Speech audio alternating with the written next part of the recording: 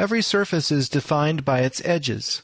If I erase one of these edges, the surface goes away, and I can recreate it by healing the surface. I'm going to reverse this face. I can subdivide this face into two faces by drawing a line that goes across. It automatically breaks the surface into two pieces. Notice that this inner edge that's on the surface is represented by a thin line, and these outer edges are thicker. These are called profile edges when they're shown in bold. The thickness of the profiles is set in the Style window. You can set it right here. You can even toggle the profiles off so that everything appears thin, but then you won't get that visual distinction between edges on surface and profiles.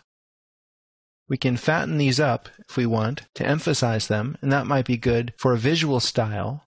But I find that when I'm modeling, I want these fairly thin, so I leave the profile set to 2 or 3. You can create an edge on a surface directly by drawing a line from one edge to another. And then we don't have these hanging chads that we have to later erase. You can also draw a line within a surface but it appears in bold to indicate that it's a profile edge. It's a free floating edge, not connected to the surface. It's only later if I decide to connect this profile line to the surface with additional edges that it will become part of the surface. Now this subdivides the surface into another surface, and I can push and pull that up if I so choose. If I wanted to turn this rectangle into a window frame, I could do it manually by drawing four edges and connecting their points. But this is really kind of a tedious way to go because I have to do a lot of drawing. And I don't have the ability to keep all of these distances the same unless I use guides, and again, there are more steps involved. Now I could push pull this up and have a frame. A more efficient way to draw a window frame is to use the offset tool. But before I do that, I'll push pull this up to create a box. As soon as you select the offset tool, surfaces start highlighting. I'm not clicking or dragging, I'm just moving the cursor. And this tells you which surface you're going to be offsetting edges onto. I'll click once, and you can see this preview of the edges that I'm offsetting. I'm offsetting the edges that define this surface. If I click again, I set the contours in. Let me undo. You have to be somewhat careful with this tool because there's only a moment there where you have an ability to set the dimension. I'll click and then look in the measurements toolbar. There's a value given. I'll type in one foot and press return. And the lines are immediately dimensioned so that we now have a one foot frame going around on this surface. We've subdivided the surface into two pieces. I'll double click on this surface to use the same value. Then I'll push pull this surface through the box to the other side. And I'll do the same thing here down to this point. I'll delete this surface. We now have a box with two cross members that go across. When I first started using SketchUp, I remember being confused by the offset tool because I was coming from the perspective of an AutoCAD user. In AutoCAD, the offset tool is used to duplicate edges a preset distance, and it's used quite frequently in AutoCAD to draft plans. In SketchUp, the offset tool is something different altogether. Notice that you cannot offset free-floating profile edges like this one. Offset is only used to create interior edges on existing surfaces.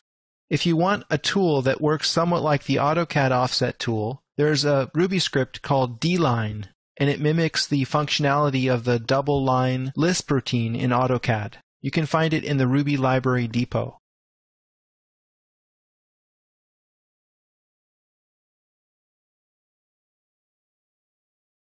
When it comes to curved surfaces, we're kind of at a loss in SketchUp to create edges on them. I mean, you can create a vertical edge, no problem. But when you try to create an edge that goes across a curve, it doesn't really work. It goes through the volume of the object. It doesn't go on the surface. If you try to draw a circle and place it on a curved surface, it may look okay from one angle, when you rotate around, you'll realize that it's planar. it does not wrap around onto the curved surface at all. Fredo has written another great script called Tools on Surface, which allows you to draw edges directly on curved surfaces. I already have it loaded, so I'll go ahead and open the Surface Operations tool palette. And while I'm at it, I'll open up Joint Push Pull, because these two sets of tools really work together. Tools on Surface are perfect for creating window and door openings in curved walls. For example, draw a circle with radius 20 feet. Give it quite a few segments. Let's type in 60s to set segments for this curved room. Use the offset tool and offset the edge inward a distance of 2 feet. And then delete the inner portion. Push pull the ring up to a height of 12 feet. Let's take a look at this toolbar. You have the line on surface tool, rectangle on surface, and so on. You can create all of these different shapes on a surface. I'll start by using the arc tool. I'll click a point right about here, another point over in this area, and then I'll set the curvature of the arc by clicking a third point. Now this arc is actually a curved entity that exists in the surface of this curved wall. So it's really quite a sophisticated thing. I'll use the line on surface tool to draw a line vertically down here, and I'll do it again on the other side. Now I want to lock this inference in the blue direction, so when it highlights in blue, I'll hold the Shift key down, and I can be sure that I'm getting a vertical line. It subdivided this surface, if this is going to become a door opening, then I need to push that through. But remember, the push-pull tool won't work because it's a curved surface. So we have to use the joint push-pull tool. I'll push it back, and then I'll set the distance at 2 feet and press return again.